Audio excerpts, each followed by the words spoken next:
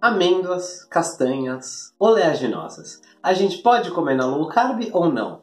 Quais opções são melhores? Olá, Tanquinho! Olá, Tanquinha! O assunto de hoje são as oleaginosas. E se essa é a sua primeira vez no canal, seja muito bem-vindo e muito bem-vinda. Eu sou o Guilherme, do site senhortanquinho.com, e aqui a gente fala sobre alimentação saudável com foco especial nas dietas low carb e cetogênica. Falamos de jejum, de dieta carnívora, dieta vegetariana e muito, muito mais. A gente sempre responde aí os comentários. Então, se você tem interesse sobre esse tema e quer ser avisado sobre os próximos vídeos que a gente soltar, clica no botão de se inscrever no canal e também ativa o sininho para você assim receber os avisos. Então hoje a gente vai falar de oleaginosas e o que são as oleaginosas. Segundo a Wikipédia, as oleaginosas são são vegetais que possuem óleos e gorduras que podem ser extraídos através de processos adequados. Tá, isso não me informou muita coisa. E a Wikipédia ainda vai lá e fala que tem frutas oleaginosas e sementes oleaginosas. Mas Nenhuma dessas definições importa muito pra gente que quer saber como se alimentar saudável no dia a dia. Então, de forma geral, as oleaginosas são aquelas amêndoas e castanhas e as suas variedades. A gente vai falar um pouquinho sobre cada uma delas aqui no vídeo e vai entender também quais são as melhores e as piores opções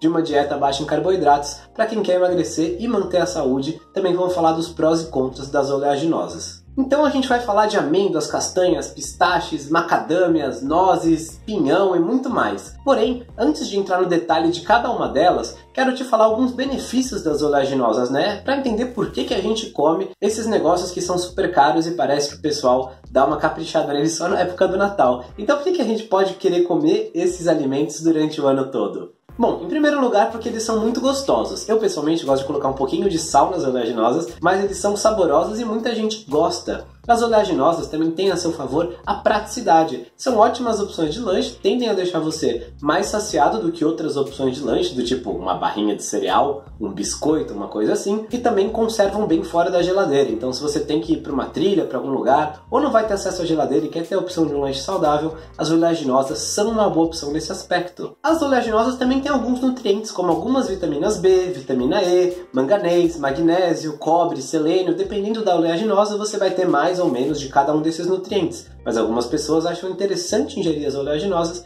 por causa desses nutrientes. Elas também têm gorduras boas, aquelas gorduras naturalmente presentes nos alimentos, porque é bem diferente você consumir, por exemplo, um óleo de soja que é ultra refinado e processado e comparar ele, por exemplo, com uma macadâmia. Ela tem um perfil nutricional muito mais parecido com o azeite de oliva, que é um óleo mais saudável para a gente. Tem alguma proteína, né? Maior do que zero, não é uma super fonte de proteínas, mas tem alguma, e uma quantidade de carboidratos que tende a ser pequena. A gente vai ver para cada uma delas qual que tem menos carboidrato, qual que pode ser mais inteligente para sua alimentação. E muita gente consome na forma de farinhas low carb, para fazer receitas low carb que com certeza tendem a ser mais saudáveis do que as farinhas tradicionais, especialmente a farinha de trigo. Isso vale para pessoas celíacas, com sensibilidade ao glúten, com alergia ao trigo e muito mais. E quais que são alguns possíveis malefícios das oleaginosas? Por que, que pode ser desinteressante consumir essas oleaginosas para algumas pessoas ou consumir em excesso?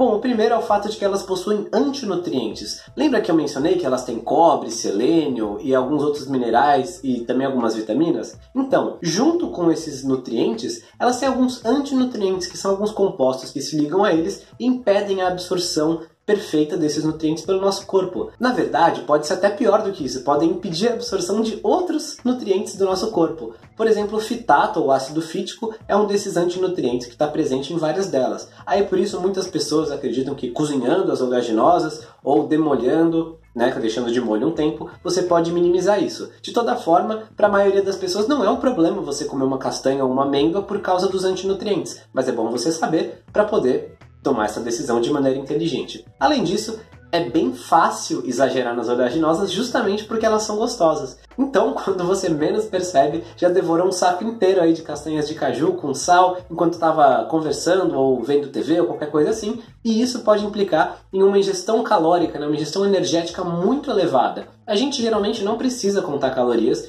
em dietas low carb e cetogênicas para emagrecer e manter o peso. Porém, a gente exagerar com esses alimentos que dão menos saciedade pode ser ruim para nossa saúde, sim. Pode acabar impedindo a gente de ver os resultados que a gente deseja e merece com a nossa estratégia low carb. Então, O problema é que a gente consegue exagerar muito e com isso a gente acaba consumindo uma quantidade grande de gorduras e até de carboidrato. Dependendo do tipo exato de oleaginosa que você vai consumir, pode ser fácil consumir carboidratos em excesso comendo esses alimentos tão gostosos. Então o problema geral não é comer oleaginosas, é que a gente tende a exagerar, porque é fácil exagerar nelas. E a gente falou da quantidade de carboidratos, vamos ver mais ou menos quantos carboidratos líquidos tem em cada um dos tipos principais de oleaginosas. Se você não sabe o que são carboidratos líquidos, vou te explicar rapidinho. É basicamente a quantidade total de carboidratos menos a quantidade de fibras, porque são os carboidratos que efetivamente são absorvidos pelo nosso organismo. Né? A fibra não é absorvida como a glicose, por exemplo, como os carboidratos comuns.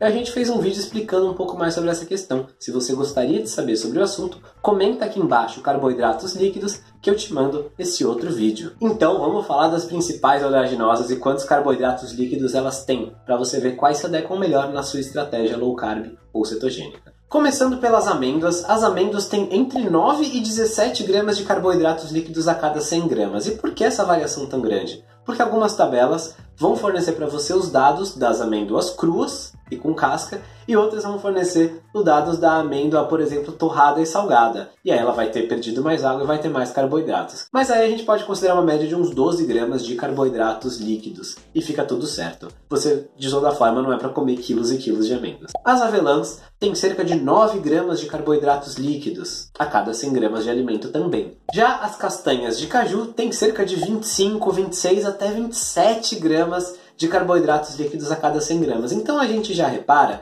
que ela já tem bem mais carboidrato do que as outras. E por isso talvez muita gente especula que ela seja tão mais viciante, né? Muita gente tem uma dificuldade maior de se controlar com a castanha de caju, porque ela tem uma proporção alta de carboidratos e de gorduras. Tem poucos alimentos na natureza que têm essa combinação juntos. A castanha de caju é um deles, então cuidado com ela. Já a castanha do Pará tem bem menos carbo, tem cerca de uns 5 a 6 gramas de carboidratos líquidos a cada 100 gramas, então ela é bem mais low carb. As macadâmias também têm cerca de 5 gramas de carboidratos líquidos a cada 100 gramas. Já as nozes têm bem pouco carbo, tem entre 4 e 7 gramas de carbo. A noz pecan, que é uma variação, é uma das que tem menos de todas, tem cerca de 4 gramas, e a noz normal, aquela que a gente come no Natal, quebra-noz, aquela coisa toda, tem mais ou menos uns 7 gramas de carboidratos líquidos. Os pistaches, que são bem gostosos também, eles também têm um pouquinho mais de carboidrato. Eles têm cerca de 18 gramas de carboidratos líquidos a cada 100 gramas. E é interessante nesse caso, é né, uma coisa que ajuda a controlar um pouco o consumo, pelo menos para mim funciona,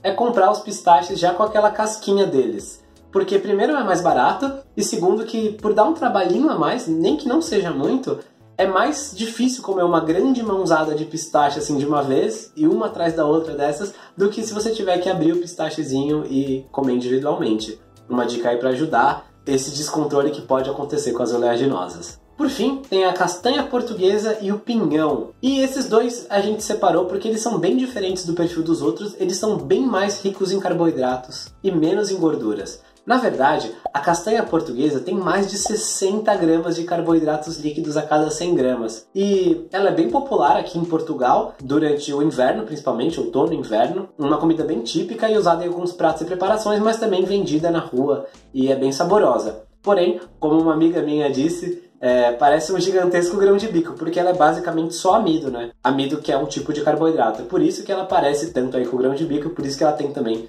tantos gramas de carboidratos líquidos a cada 100 gramas de castanha portuguesa. E no inverno no Brasil a gente tem o pinhão, que é bem tradicional de ser comido. E ele também tem mais carbos, ele tem cerca de 30 gramas de carboidratos a cada 100 gramas de pinhão cozido. Eu peguei também os dados dele cozido, porque eram os dados que tinham disponíveis na nossa tabela TACO. A tabela TACO é uma tabela elaborada por pesquisadores da Unicamp e a gente compilou os dados mais importantes dela numa outra tabelinha que está disponível de graça para você. Vou deixar o link aqui na descrição, mas se você não achar, só comentar aqui embaixo. Quero a tabela com a quantidade de carboidratos que eu te mando também, não tem problema nenhum. Acho que pode ser bastante útil. Você pode imprimir, botar na geladeira, levar quando for fazer compras e o que mais você quiser. É o nosso presente para você. E nessa hora é possível que você esteja talvez sentindo falta do amendoim. Muita gente considera o amendoim bem parecido com essas outras oleaginosas, mas no caso, dois pontos interessantes. O primeiro é que ele não é uma oleaginosa, ele é uma leguminosa, isso é, ele é botanicamente mais parecido com o feijão do que com as castanhas, apesar de a gente costumar consumir o amendoim de uma maneira muito mais parecida com a das castanhas, né? Com sal e tal, como petisco e não igual o feijão, que a gente tende a cozinhar e tal. E o segundo ponto interessante é que a gente já fez um vídeo só sobre ele.